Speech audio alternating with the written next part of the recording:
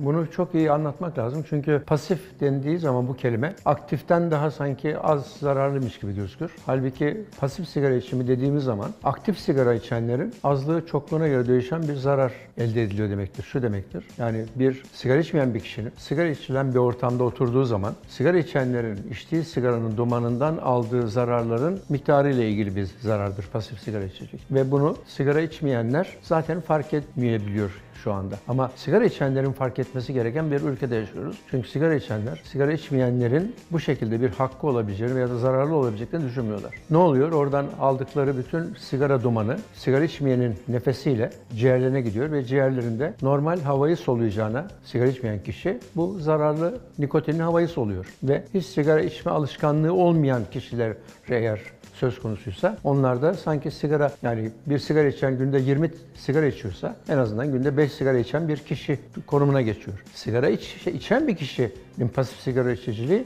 o daha da kötü. Sigara içende zaten sigaranın yaptığı zararlar varken bu kişide sigara içmeyenlerle beraber, sigara içenlerle beraber oturduğu zaman hem kendi zararlı olan vücudunda olan sigaranın etkileri hem de yanındakilerin sigarasını 2-3 misli daha fazla zarar görecek. Onun için yani bu o şekilde bir eğitim programı olması lazım.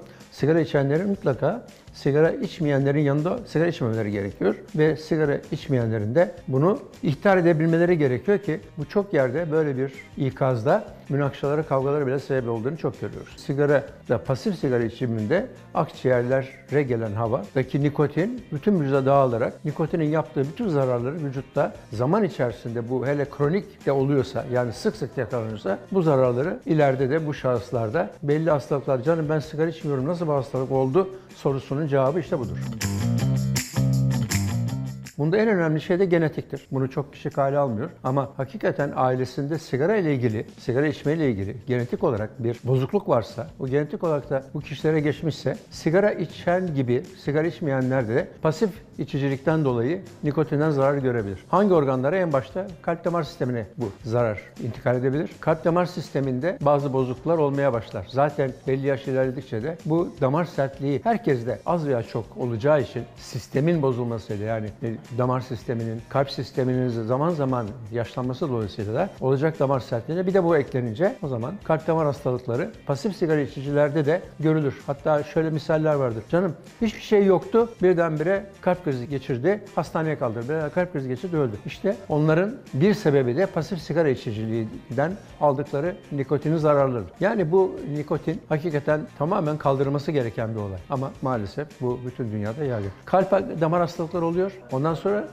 damarların olduğu her organ bozulur. Yani daha kronikleşirse bu iş, damarın her damarı olan organın bozulduğu gibi beyin, karaciğer, böbrek ve akciğerler devamlı bozulmaya yüz tutar ve başka hastalıklar da girerse araya o zaman daha ağır hastalıklar olmasını sağlar.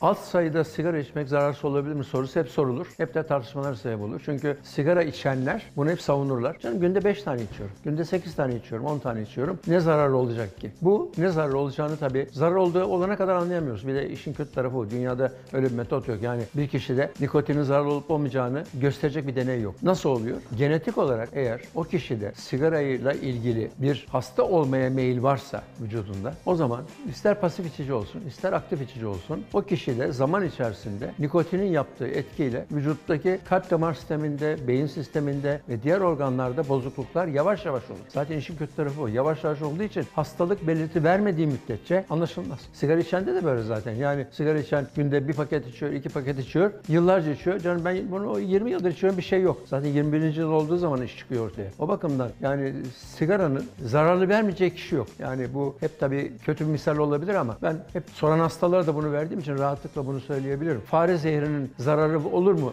Versen fare zehri alır mısın dediğim zaman canım niye alayım? İşte o zaman niye sigara içeyim sorusunu kişi kendine sorarsa bir daha bu şekilde bir şey olmaz. Yani mutlaka nikotin alındığı zaman ister nefes yoluyla ister ağız yoluyla vücutta devamlı olarak bir zarar yapacak demektir. Ama bu zararın neticesi ne zaman çıkar? O bir şüpheli. Herkes de şey. Genetik olarak eğer ön planda bir defekti varsa kişinin, buna bir ilgisi varsa, yakınlığı varsa daha erken yaşta hastalık çıkar. Yoksa daha geç yaşta çıkabilir. Tabii Çok ekstrem misaller de var. Yani günde 3 paket sigara içip de 80 yaşına kadar yaşayan da var. Buna ait de verilen misal şu. Yani bir köyde 200 hane varsa, 600 kişi yaşıyorsa, 600 kişide 2 kişi, 3 kişi boğuluyorsa bu bir geneli değiştirmez. 100 kişide 2 kişi, 3 kişi tamam hiçbir genetik etkisi yoktur. Vücut direnci iyidir. Böyle bir formasyon yoktur. Zarar görmeyebilir. Ama geriye kalan 100 97 kişi, 97 kişi bu hasardan zarar görecek demek. Netice şuraya bağlanacak. Sigara içilmemeli. Bütün mesele bu.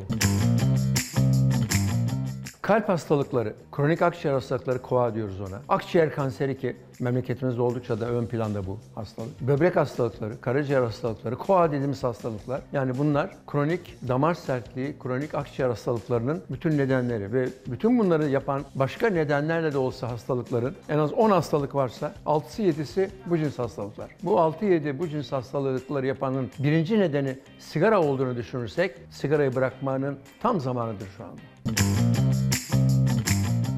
Sigarayı bırakır bırakmaz 24 saat içinde kalp krizi geçirme riskiniz %50 azalır. Çok önemli bir oran bu. Nabız, tansiyon yine 24 saat içinde normal değerlere yükselir. 3 ay sonra ise solunum fonksiyonlarında ve akciğer sağlığımızda belirgin iyileşme görür. O halde ani iyileşmeler yanında zaman içinde diğer organlarımızda da gözle görülebilir veya fark edilebilir, ölçülebilir düzelmeleri bırakanlar rapor etmektedir. Zaten çalışmalarda bunu göstermektedir. 5 yıl sonra akciğer kanseri riski açısından oldukça risk azalır. 15 yıl sonra ise hiç içmeyenlerle akciğer kanseri riski aynı düzeye düşer. O halde sigarayı bırakmanın yaşı yok. Hangi yaşta olursanız olun sigarayı bıraktığınız anda bunun faydalı etkilerini görürsünüz.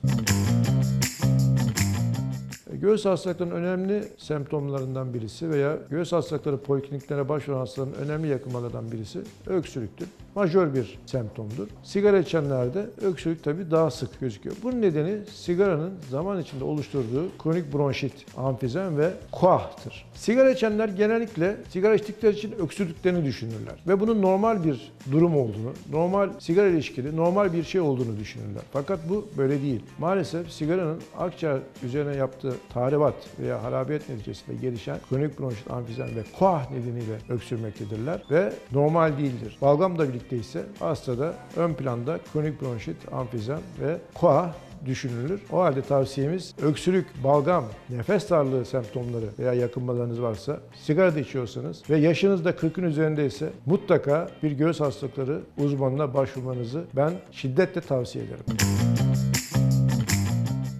Nedeni sigara dumanında olan 4000'den fazla kimyasal madde. Ve sigara içenler maalesef bu kimyasalları bir atık deposu gibi vücutlarında biriktirmektedir. Bunlar içinde katran var, roket yakıtı var, polonyum var, radyoaktif madde, H2S var, zehirli gaz. Yani düşünebiliyor musunuz? Karbon monoksit var, egzoz gazı, daha bir sürü. En önemli kanserojen maddelerden birisi de polisiklik hidrokarbonlardır. Katran içinde bulunur ve direkt kanser yapıcıdır. O halde sigara yaktığınız zaman ucundaki ateş 900 santigrat derece ve her ısıtılmış tütünlerin içinde hepsinde de bu zararlı maddeler 5 aşağı 5 yukarı bulunmaktadır. Bu maddeler açığa çıkar ve dumanla kişiler bunları akciğerlerine çekerler. Sadece akciğerlere gitmiyor maalesef. Ağız içinden emiliyor bu maddeler. Mide bağırsak sistemine, boşaltım sistemine, vücudun her yerine yayılıyor ve maalesef DNA'larımızda yapışarak DNA'larımızı bozuyor ve bunun neticesinde de diğer etkiler özellikle de 22 organda meydana gelen kanserler meydana geliyor. Sağlığınız için yapabileceğiniz en önemli hareket sigarayı bırakmaktır. Sigarayı bıraktığınız zaman sadece kendinizi korumuyorsunuz ama